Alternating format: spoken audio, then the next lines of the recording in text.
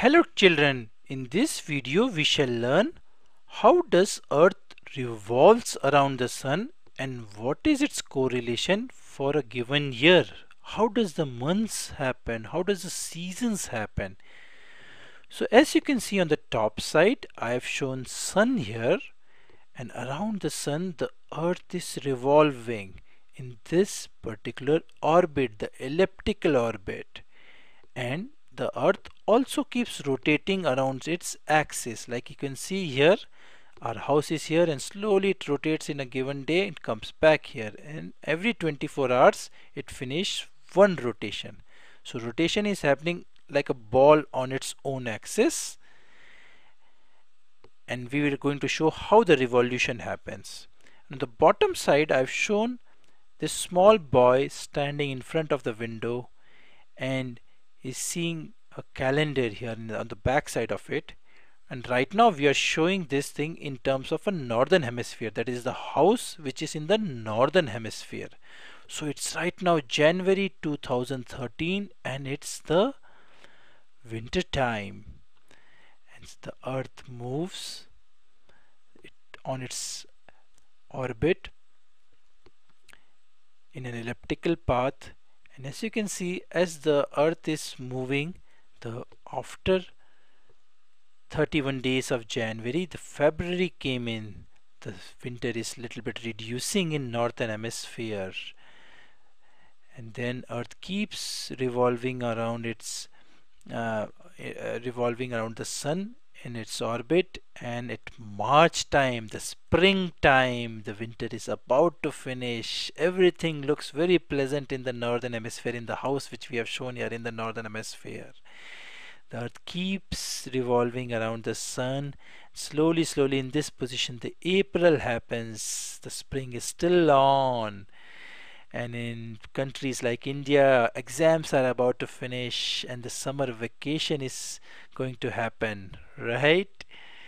So it keeps revolving in this kind of orbit around the sun and the May time comes in the summer time the children love to eat ice cream right? It's the hot time frame that keeps revolving around here.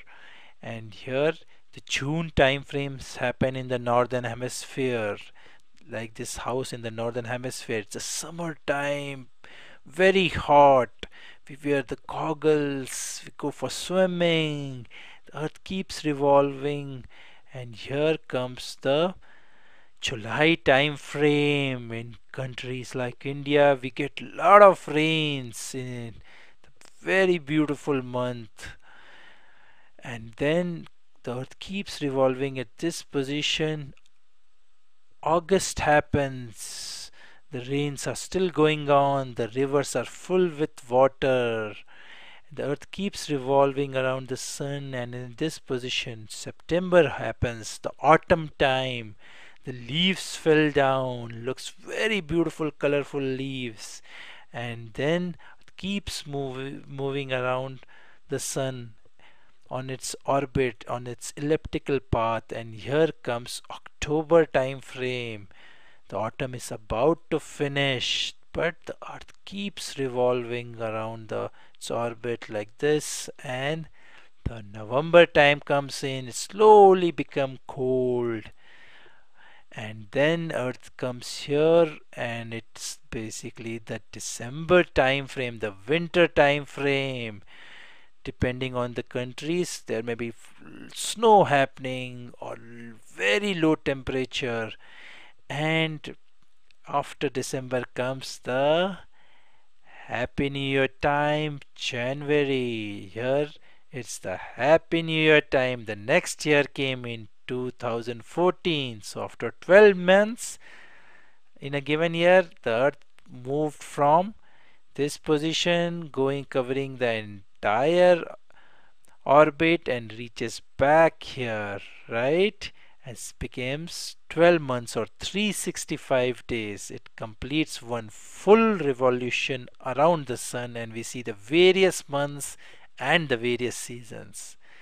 Make sense children so enjoy this thing and appreciate the beauty of nature. Bye bye